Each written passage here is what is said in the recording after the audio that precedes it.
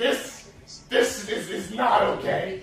This needs to stop now. Oh. This is cancer. This, this is so much cancer that I can feel the tumors growing on my back. And it's way down heavy on me, and it's not okay. Can you help a nigga out and just stop this? Please?